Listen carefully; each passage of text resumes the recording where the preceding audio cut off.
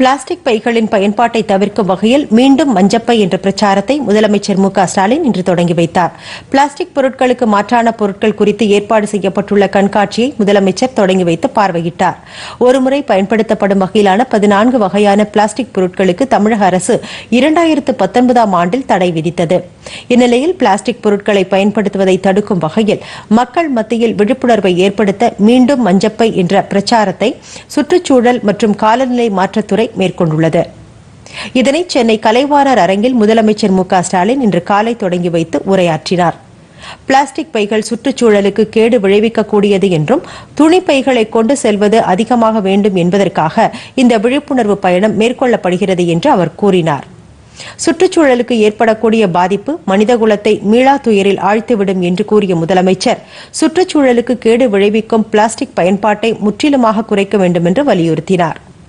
அரசாங்கத்துடன் மக்களும் இணைந்தால்தான் பிளாஸ்டிக் பொருட்களை ஒழிக்க முடியும் என்று கூறிய முதலமைச்சர் மக்கள் நிலைத்தால் பிளாஸ்டிக் பொருட்களை நிராகரித்து மாற்றத்தை உருவாக்க முடியும் என்று தெரிவித்தார். மீண்டும் மஞ்சள் பை என்ற விழிப்புணர்வு நிகழ்ச்சியை தொடங்கி வைப்பதில் நான் மிகுந்த மகிழ்ச்சி அடைகிறேன் பெருமைப்படுகிறேன். மஞ்சள் பை தான் சூழலுக்கு சுற்றுச்சூழலுக்கு சரியானது. அழகான நாகரிகமான பிளாஸ்டிக் பை என்பது சுற்றுச்சூழலுக்கு கேடு விளைவிப்பது. என்கிற பரப்புரை செய்த பிறகு இப்போது துணிப்பைகளை கொண்டு செல்லக்கூடிய பழக்கம் அதிகமாகி கொண்டிருக்கிறது. அது மேலும் அதிகமாக வேண்டும் என்பதற்காகத்தான் இந்த விழிப்புணர்வு பயணமாகும். இன்றைய நாள் வளர்ச்சிக்கு எந்த அளவுக்கு முக்கியத்துவம் தருகிறதோ அந்த அளவுக்கு சுற்றுச்சூழலுக்கு முக்கியத்துவம் தர வேண்டியவர்களாக நாம் இருக்கிறோம்.